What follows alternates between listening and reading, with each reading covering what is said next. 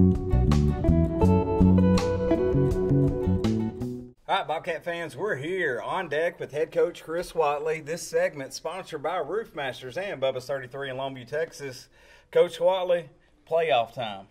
We're here. We're here, man, and one of many interviews we're going to do in the playoffs is what so. I'm saying right now. Now, who is our opponent this week in the playoffs? We're playing Huntsville. This will be the third year in a row that we've actually opened up with those guys. Uh, so they know us, we know them, and we've actually played them once already this year in our Lufkin tournament that we had down week two. So this will be our seventh, eighth, ninth time we played them in three years. So, So what what what is it look? What do we get to look forward to with Huntsville? ah, little they, scouting report. they graduated a bunch of their guys from last year, and you know when we played them in week two, uh, they threw their number one at us, and we threw Blake at them, and it was a three to one game. Uh, they actually had seven or eight hits off Blake, so um, I thought offensively, and talking to some other coaches around, whatever you know, doing our little research. Like, I mean, offensively, I think they're they're going to swing it okay. Uh, I- I mean, I know they have they have one their their number one guy. He's he's been a three year starter for them, uh, so I'm I'm sure we'll see him either game one. I mean, obviously game two if he's done throw game one. Um, but I think the biggest key for us is just putting the ball in play, making them get us out and and just be competitive at the plate. I think I think our pitching has carried us all year.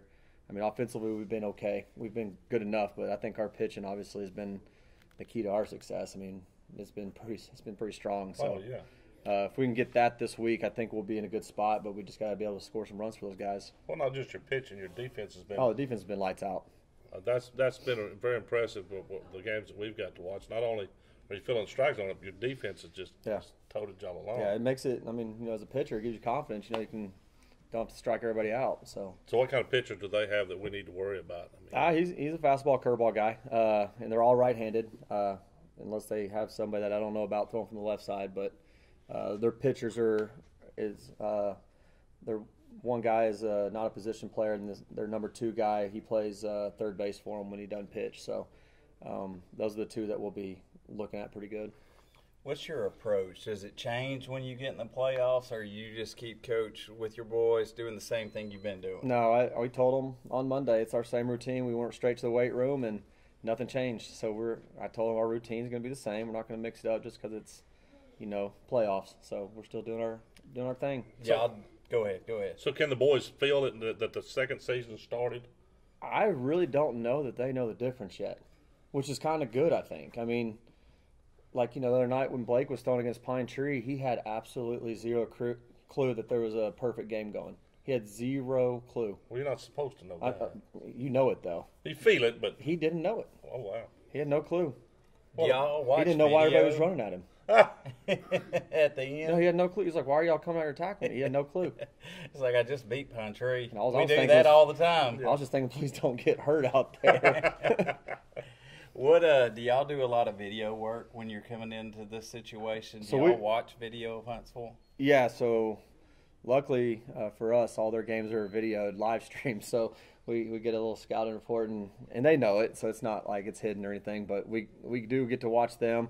Um, all of our games, we video all of our games, but we do not post them. So But the good news is, if they go to do any scouting on y'all, they got to get it on the radio, and they would have to listen to us, And and, they they would turn it off scouting. like in thirty seconds. scouting report right there.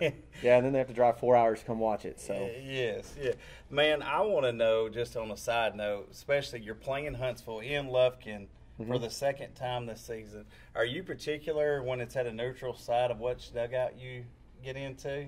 This week I, I, I was particular. We- Yeah. we've our kids have enjoyed going to Lufkin. They're comfortable there.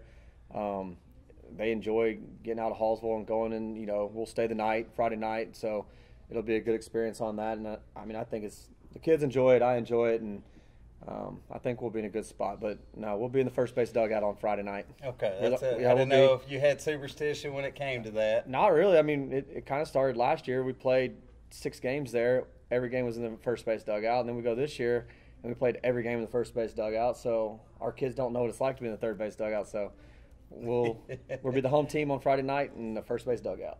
So, so it doesn't. The suns doesn't uh, affect you down there. Oh, it's going to be hot. It's supposed to be nine degrees this week, and it will be right on our dugout. Well, that's another thing. You, you know, you talked about. You know, the temperature's going to change. yeah, it'll be warm this weekend.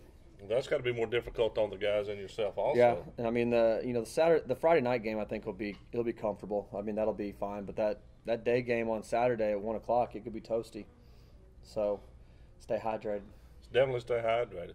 So you, you touched on what any practices going to be longer, normal, or just just the same? No, we're we're staying the same. Um, I mean we can stay out there till we're blue in the face, but if we don't know it now, it don't really matter. So we're just gonna keep doing what we're doing, and hopefully you know throughout the year all the stuff that we've been trying to instill in these guys and teach and get everything ready. Hopefully it, it pays off, and we make sure we do it right on this weekend. Goals like when you go into this, coach. I guess let me back up a little bit. Strategy to it. Now, I mean, I don't want you to necessarily give out any strategy over there or anything like that. But Yeah. are you changing anything up with how you use your starters? Any of that? Any, No. Anything new coming? No, we got- that people need to be on the I look mean, for. It is no secret who our game one and game two guys are going to be. Don't know the order yet, but we know it's going to be Landon and Blake in that in one of those orders. But uh, you know, obviously, we'll do whatever we can to win game one. I think game one is.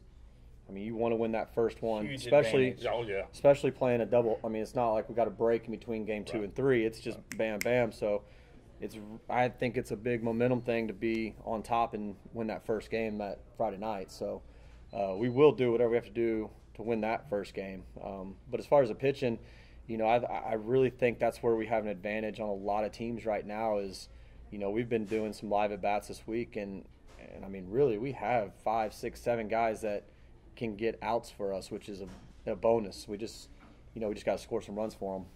You know, in the past, we'd watch teams that had particular uniforms that they wanted to wear Mm-hmm. Yeah. in playoff games. Coach What's Smith. that for y'all this year? No, we're you know at one point I, I mean, and if y'all noticed the last probably like three weeks we've been wearing white with purple with a white hat, and it didn't matter where we were. And I was like, guys, we got to eventually wear the grays. We gotta we gotta mix something up. And you know they were all on it because I think we you know we went on a little run where we've won like 16 of our last 17 games. I think is what I was looking at.